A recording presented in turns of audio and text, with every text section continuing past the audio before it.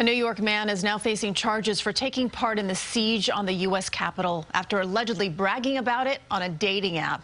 The FBI arrested 50-year-old Robert Chapman yesterday in Putnam County. According to court documents, Chapman told a match on Bumble he stormed the Capitol in January.